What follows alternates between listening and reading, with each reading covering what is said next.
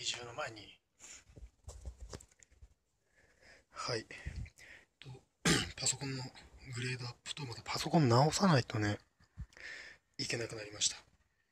でまああとこれは一応メモリの交換なんだけどこれでいいのかな。でこれ一応斜めに刺してるけどお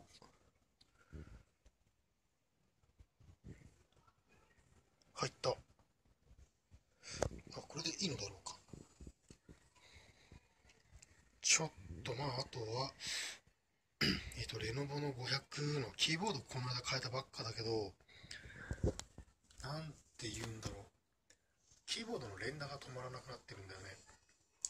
なだからちょっとこの後もまた開けて接続してうーん治んないようだったらもう外つけてずっと行く？そんな感じだね。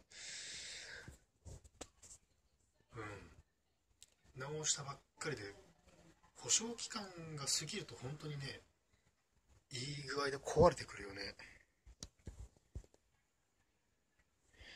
まあ一応 CFD で買った企画は？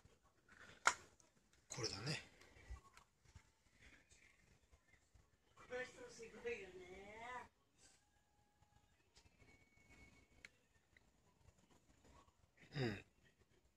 うん。おこれになるね。とは企画はねメモリ交換とレノボとかで出てくるのであとこんな感じでいいか。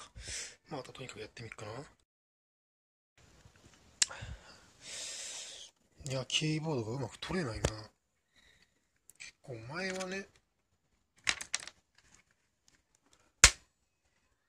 これねバキバキ言うんだよね。大丈夫なのかって思うぐらいバキバキ言う。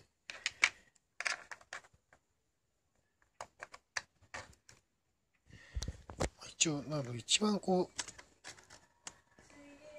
取っかかりがね一番なんだろう。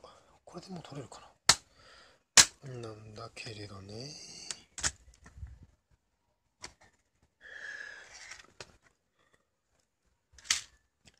ほい。開いた。からあとはこれをつけてもう一回剥がしてを繰り返して治らなければもうこのキーボードは取っ払ったまんまかな。うん。いやーレノボどうなんだべな。はい。でまああとはうん。ちょっと見づらいけどまあ実装メモリ8ギガ、まあ、一応7.87ギガ使用可能。まあ、一応、このメモリは、えっ、ー、と、適用しても読み込んでるね。うーんと、FD の、まあ、この D3N1609 の L4G、まあ、この規格で合ってるというような感じかな。はい。そして、まあ今は、もうめんどくさいから、蓋も閉じるのめんどくさいから、バッテリーと、まあ、蓋外して、まあ一応電源を無理くりつないで、まあパソコンには悪いけど、一応このは OK。そしてまあこれが問題のね、連打の症状。あ、でもまあ治ったね。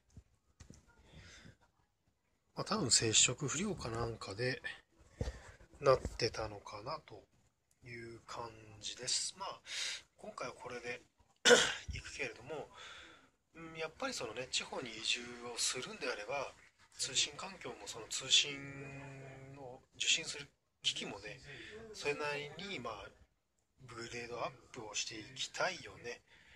というところで本来だったらまあ他のブログには16までなぜか認識するらしいけどちょっとそういうことはあなんかな、まあ、一応公式上は10、えー、8って書いてあるので、まあ、これで終わりかな。